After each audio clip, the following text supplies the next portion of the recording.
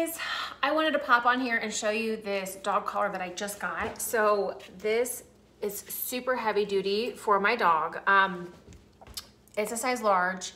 You just wanna make sure that you measure around your dog's neck to know what size to get. So it's really important. Then you wanna leave like about an inch of room at least.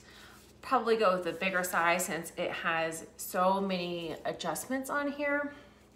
So as you can see, it's nice and thick, very sturdy, durable material, nylon, um, but it's like soft on the inside here for your dog, against your dog's neck, which I make sure to do.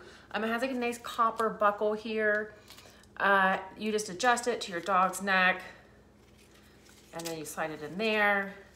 And then it just has lots of security um, to make sure that it doesn't come unhooked. So that all slides in there. So this also, so it's, it's a friendlier choker collar. So you can hook your leash around this. Um, and then that way it, it, it's a little bit extra um, control for your dog.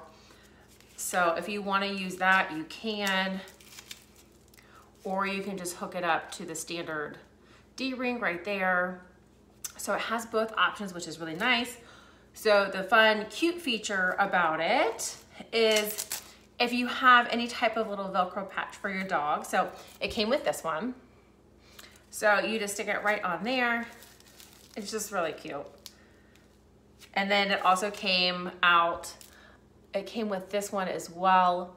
So you can change them out. Um, you could create your own, whatever you wanted to do, anything that you wanted to kind of attach on there if you wanted to get like a Velcro dog tag made, especially for your dog.